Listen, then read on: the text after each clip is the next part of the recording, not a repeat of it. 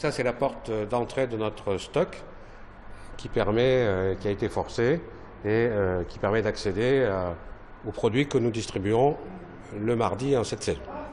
Mauvaise surprise pour les bénévoles des Restos du Cœur de Givors. Hier soir, leur entrepôt installé dans la salle des fêtes de la ville a été cambriolé. Des biscuits et des produits congelés ont été volés.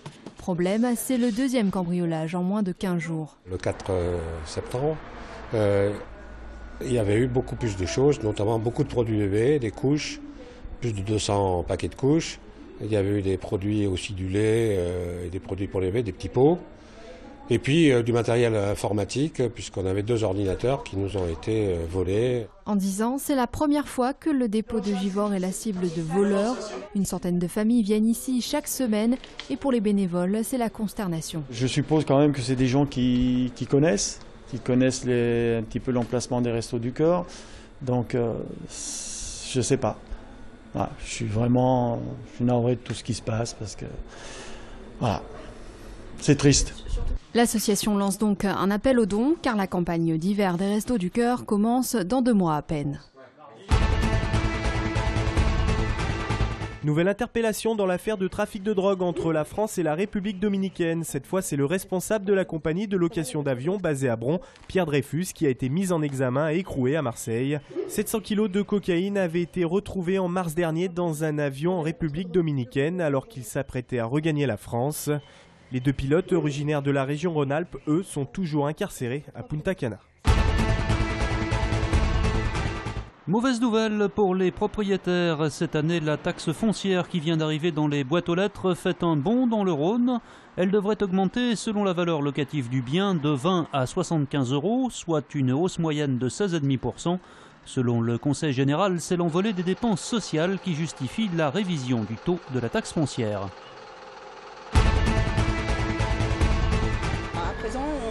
une, façon de faire les courses qui change, une mobilité en centre-ville.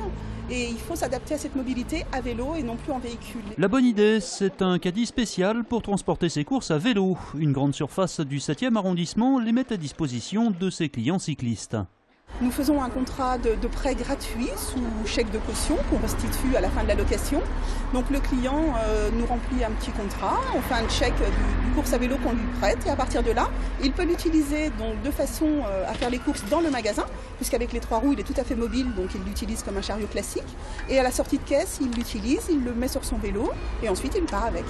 La grande surface teste pour l'instant ce dispositif qui pourrait à terme être étendu à tous ses magasins. La défaite lors du premier match de la saison face au promu nantais a servi de piqûre de rappel. Finaliste malheureux de D1 l'an dernier, les Lions du LHC font désormais partie des équipes à battre. À l'occasion de sa conférence de presse de rentrée, le président l'a réaffirmé, l'ambition est bien d'accéder en Ligue Magnus dans les deux ans à venir. On travaille euh, avec sérénité eu égard les, résultats que nous avons obtenus la, saison passée, mais euh, avec une certaine crainte aussi du, temps qui passe. Donc euh, il nous reste deux ans pour, atteindre notre objectif de, monter en Ligue Magnus. On a goûté à la, finale l'an passé. On aimerait que ça se termine un peu mieux pour nous en 2014. Et pour s'en donner les moyens, le LHC a recruté. Pas moins de 11 joueurs sont arrivés à Lyon cet été, dont deux gardiens de but. Dans le staff, François Dussault a été nommé pour prendre les rênes de l'équipe. L'ancien coach de Reims s'est engagé pour un an avec deux années renouvelables. J'aurais pu accepter le nouveau contrat. Mon nouveau contrat, ça aurait été un CDI. Mais bon, à un moment, j'ai besoin aussi de, nouveaux challenges. Et je pense que Lyon, euh, le, projet, bah, un déjà parce qu'ils avaient fait la finale, mais aussi parce qu'il y a tout ce qu'il faut pour réussir ici. L'autre nouveauté, elle concerne la patinoire Charlemagne. D'une capacité de 4200 places, elle a été entièrement rénovée cet été. Le club espère ainsi faire venir de nouveaux spectateurs. La saison dernière, 2700 personnes en moyenne assistaient aux rencontres du LHC. 3000 sont espérées cette année. Serge Dorny quitte l'Opéra de Lyon. Le Belge vient d'être nommé directeur de l'Opéra de Dresde en Allemagne. Après dix années passées à Lyon, son bilan à la tête de l'Opéra fait l'unanimité. Âgé de 51 ans, Serge Dorny prendra ses nouvelles fonctions à partir de la saison 2015-2016.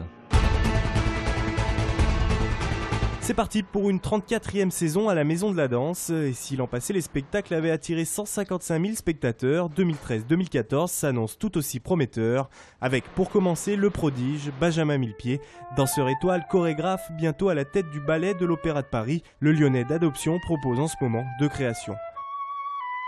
Je l'ai chopé euh, une semaine avant qu'il soit nommé à l'Opéra de Paris, voilà. Et donc euh, je lui ai dit, je lui ai dit Benjamin, qu'est-ce qu'on fait? On continue ou pas avec la maison? Il a vraiment souhaité garder euh, son contact avec la ville de Lyon, avec la Maison de la Danse et avec la Biennale, où il ferait une création en 2014. Figure incontournable de la danse dans les années 80, Caroline Carlson est l'autre temps fort de ce début de saison. On va voir Caroline Carlson à la sucrière qui improvise dans des situations un peu inhabituelles. Elle en solo, son dernier solo. Parce que Madame Carlson, je ne devrais pas le dire, mais elle va fêter ses 70 ans avec ce solo. En tout, 38 compagnies internationales vont se produire cette saison à la Maison de la Danse avec pas moins de 11 créations. Dernière nouveauté, la Minute du Spectateur, une émission diffusée chaque semaine sur notre antenne où Dominique Hervieux en personne présente les prochains spectacles. Rendez-vous tous les lundis à 19h40.